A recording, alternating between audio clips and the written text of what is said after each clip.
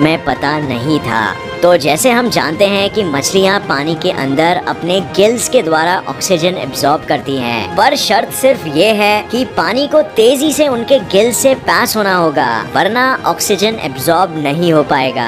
अब ज़्यादातर मछलियाँ ये आसानी से कर सकती है। बकल पंपिंग नाम के एक प्रक्रिया से जहाँ ये अपना मुँह खोले पानी को गिल्स के अंदर पंप करते हैं और ऑक्सीजन एब्जॉर्ब कर लेते हैं। पर कुछ गिने चुने प्रजातियाँ ये नहीं कर पाते और द ग्रेट व्हाइट शार्क उनमें से ही एक है। द ग्रेट व्हाइट शार्क को सांस लेने के लिए तेज़ी से पानी में अपना मुँह खोले आगे दौड़ना पड़ता है और पानी और